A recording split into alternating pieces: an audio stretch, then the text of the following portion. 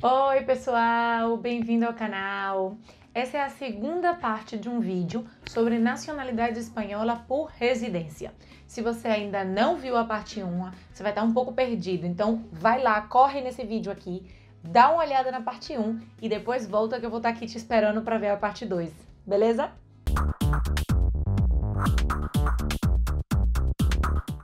Então é isso, você já viu a parte 1 e já sabe que uma forma de conseguir a nacionalidade é residência na Espanha de forma legal.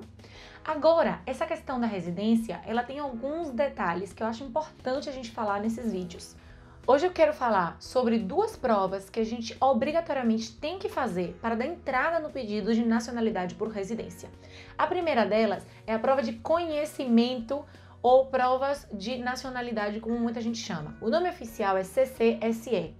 Essa prova de conhecimento é requisito obrigatório para pedir, para dar entrada na nacionalidade. E a segunda prova é a prova de conhecimento da língua espanhola. Você tem que obrigatoriamente ter um domínio mínimo da língua espanhola para solicitar a nacionalidade por residência. Então, antes de solicitar, a gente vai precisar comprovar esses requisitos, tanto o período mínimo de residência, dependendo da sua situação pessoal, vamos precisar comprovar que aprovamos essa prova de conhecimento e que temos esse domínio do espanhol. Isso como é que faz? O Instituto Cervantes é o responsável por fazer essas duas provas.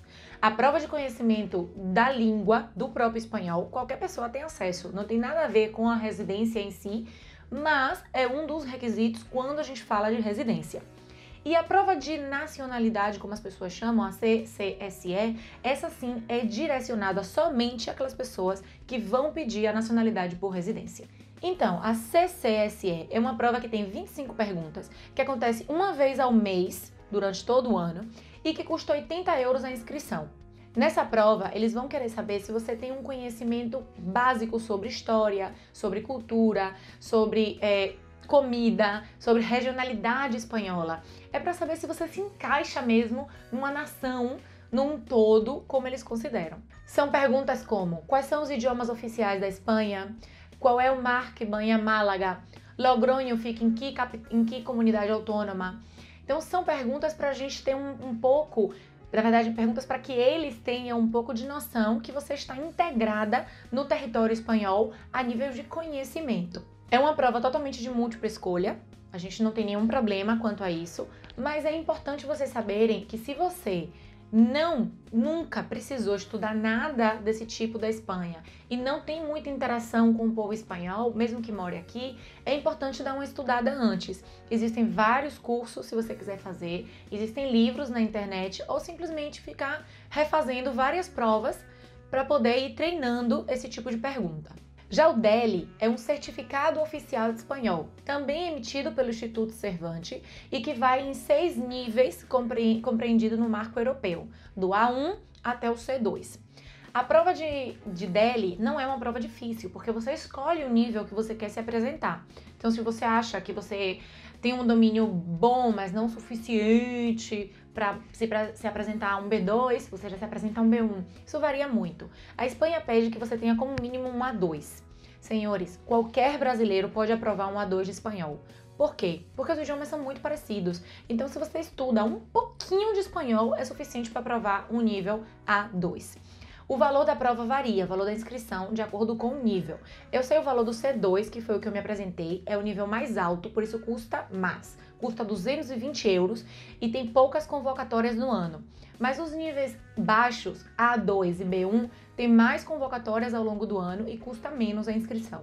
Eu vou deixar na descrição do vídeo onde você pode encontrar preço, hora, lugar, quando, tudo a respeito tanto da CCSE quanto do DELI.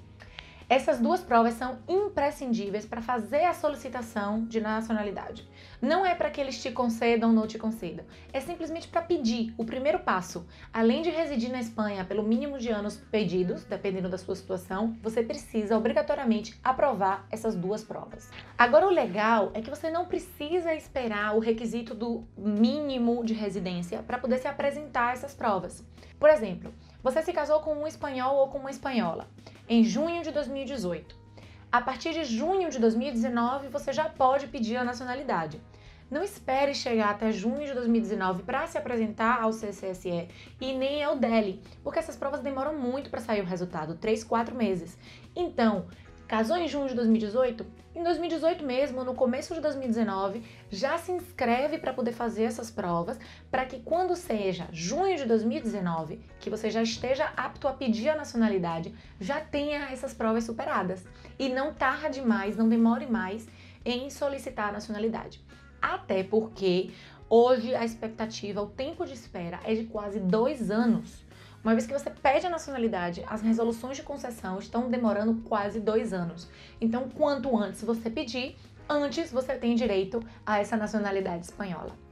Eu espero que vocês tenham gostado desse vídeo. É, se vocês têm alguma dúvida, querem mais detalhes sobre esse tipo de nacionalidade, deixa nos comentários e fique ligado que semana que vem sai a última parte dessa série sobre nacionalidade e vamos falar sobre o direito a optar por ser espanhol, o que eles chamam de nacionalidade por opção. Um beijo enorme, te vejo semana que vem.